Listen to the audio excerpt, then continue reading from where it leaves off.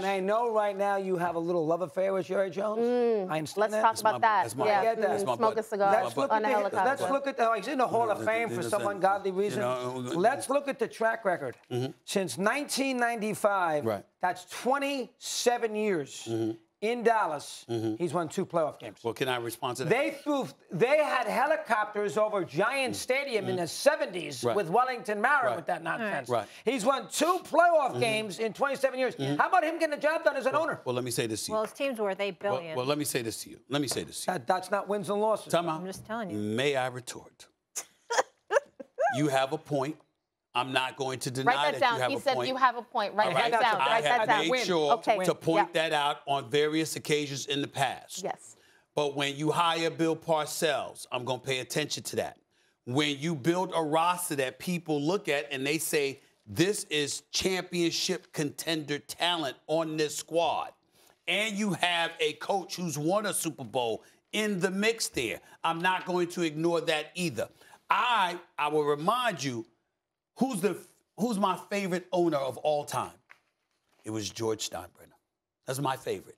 Because this man sat up there and get, and spent the money and gave you the talent. You used to be on radio in New York, sitting there with Mike and the Mad, Mike and the Mad Dog. That was it. And you used to lament the fact that we're buying championships. And I oh, used Oh, I to, hate and, it. and I was too young to call, call it and tell you, I don't care. What do I care?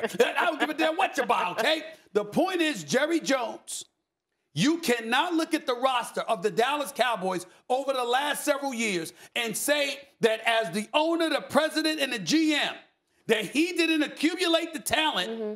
and put you as a coach and players in a position to succeed.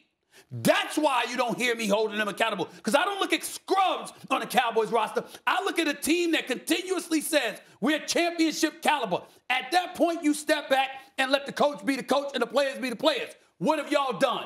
You haven't fulfilled what he's delivered on.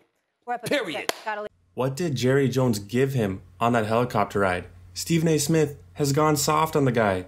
Now I get it. He got the talent, he got the coach, and they were championship ready season after season. But still, like Mad Dog said, 27 years, two playoff games. It has to be the right combination of coach and talent. And Jerry Jones is the owner, the GM. He has so much responsibility for that team.